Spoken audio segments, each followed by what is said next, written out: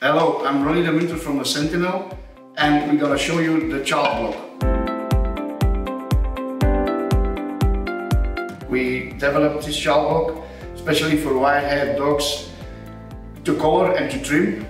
The chalk block is a mixture of different uh, of chalks which give volume and will absorb uh, the, the grease that you put in the legs to give the volume. If you use it uh, for trimming, it's also possible just rub it in the coat and you will have a better feeling and grip on the coat while trimming. The chalk block is handmade in Belgium and is of a premium quality chalk. So I'm wrapping in the cream in my hands and I take the leg, put it in the coat and it's the combination of, of the cream and the chalk that will give the volume. Once you rub this in, you just take the chalk block, you just go over it. The good thing of a chalk block is it don't get messy by you, uh, putting it in the, in the legs. If you use loose chalk, your table will be full of the chalk. This chalk is super white, so it will stay super white in the legs. You leave it in for a few minutes so you give uh, the products the time to get together and then we will open the legs and you will see the difference in, in volume between one leg and the other leg.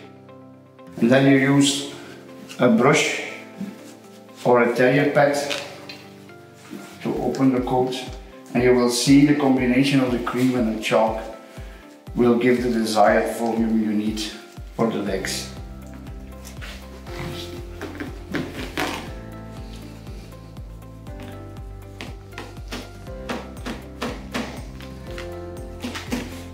Here again you see the difference of the, of the front legs with chalk and of the front legs without chalk.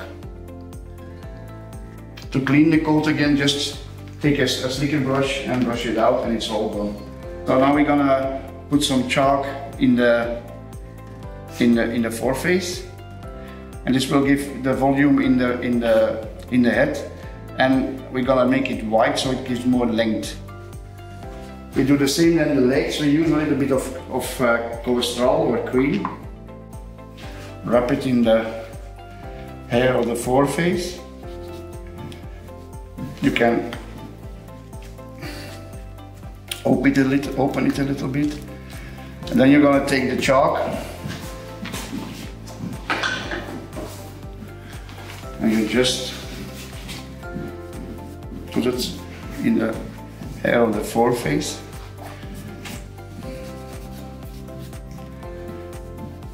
And again, this is all natural products, so it's no problem to use this in the coat of the dog. And then you let the products do their work, and then you will see that you get the desired volume in the foreface. So now we're gonna put the chalk to the coat so it will make the coat drier and easier to trim. It's ideal to use in a shop on a pet trim. Uh, it will make the coat dry by rubbing the chalk in the coat and it makes it super easy to come out. Gets you a better grip uh, because the chalk makes the coat dry.